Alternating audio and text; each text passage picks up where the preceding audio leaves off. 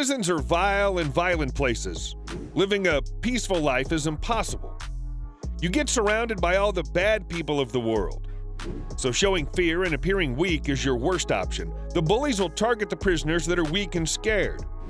So, are there any best martial arts that might help you stand out? Welcome. Today, we're going to discuss the best martial arts that work inside prison. Not to mention the techniques one can adapt. So, without wasting any more time, let's get started. But before we start telling you about the martial arts and techniques that'll help you, first let's discuss will the other prisoners know martial arts? The answer is mostly no. They don't want to know any martial arts because they don't want to defend themselves in the worst situations. In fact, they are the worst situations. They're just so eager to kill or abuse your body.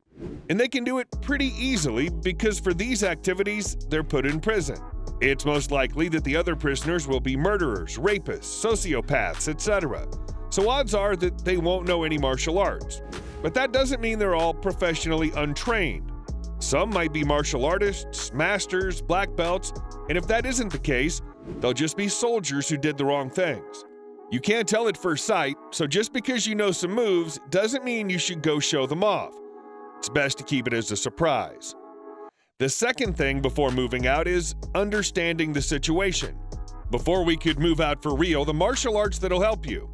You shall always select a martial art that's good in close combat fighting. It's because of the prison cell space, so we'll be living close to the inmates.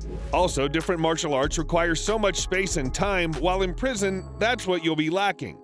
You won't be allowed to practice martial arts when you get inside, but can only work out for having longer lung capacity or making yourself faster.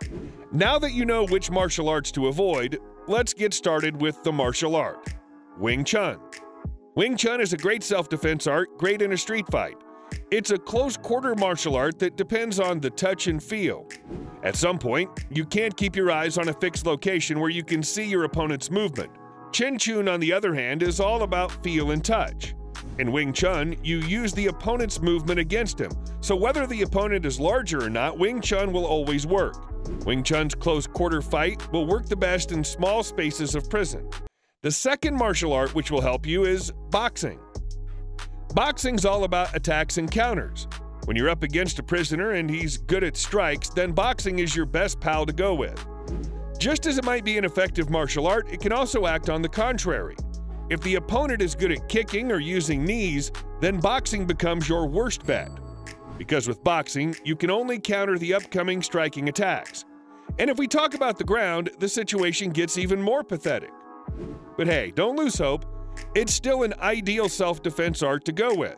For making it effective, you should combine it with Wing Chun.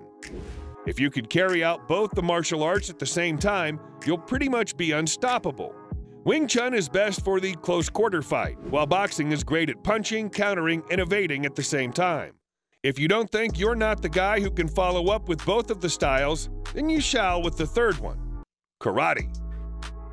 Karate is such a great martial art that it's been thriving in the West since the 60s and 70s. Karate is versatile, deadly, efficient, and practical.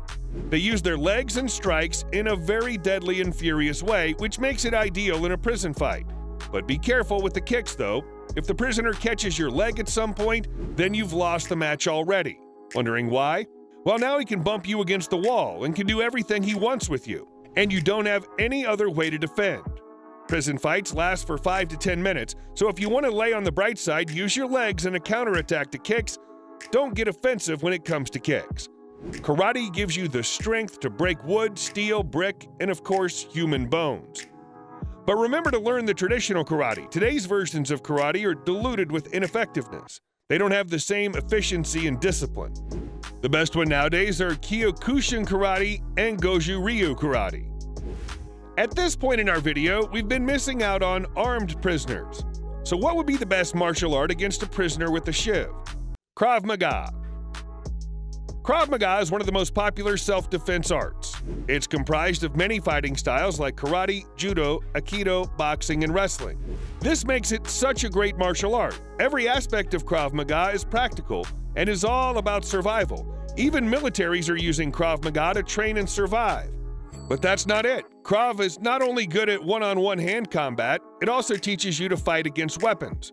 With Krav Maga, you can easily disarm the prisoner who's carrying a shiv to kill you.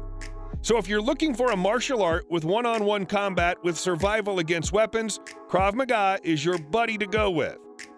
The second one in this category is Kali. Kali is the most recognizable and popular martial art out there. The reason is that it's taught to the police forces and militants from all over the world. It's mostly centered around the knife and stick fighting. This fighting style doesn't kill your enemy, but it decapitates them properly with its aggressive fighting style. So it might be another great option to go with. Most of the time, the fights are unfair. You're not standing in a competition or MMA match where you'll only face one opponent. In prison fights, you'll most likely face more than one prisoner who just wants to. So, what are the best martial arts against multiple opponents? Combative. It's also known as close quarters combat. It was created in World War II to kill. It's not a martial art that's focused on defending yourself, but rather on killing your opponent. It's combined with all the effective techniques from almost every popular martial art. So if you're facing multiple prisoners who like playing dirty, combative could be your only way to survive. But remember, you don't want to kill the other attacking prisoners, but to defend yourself against them. The best of all, Jailhouse Rock. This is the martial art that was created inside a prison, and I should have mentioned it at the very start, but I wanted you guys to have a complete idea of what you'd be against in prison. Jailhouse Rock is widely used for surviving against shivs. With this system, you'll learn 52 hand blocks, which are used for stopping any type of attack, whether the opponent is armed or not. Plus, on the offensive side, it takes inspiration from Western boxing along with many other styles. Since it was created for prison survival and includes 52 blocking techniques in a close quarter situation, Jailhouse Rock could be a greater choice for you. Plus, all the other martial arts will take so much time for you to master. This makes Jailhouse Rock even more ideal. So it depends on how you look at it. If you're the type of person who doesn't have time to master a specific martial art, then it could be the best option. Final thoughts. The reason why I defined so many martial arts is that you could have a better idea about the situation. These martial arts styles are unique and different from each other. When it comes to prison, I wouldn't recommend just sticking to one martial art that you liked, but instead select a few.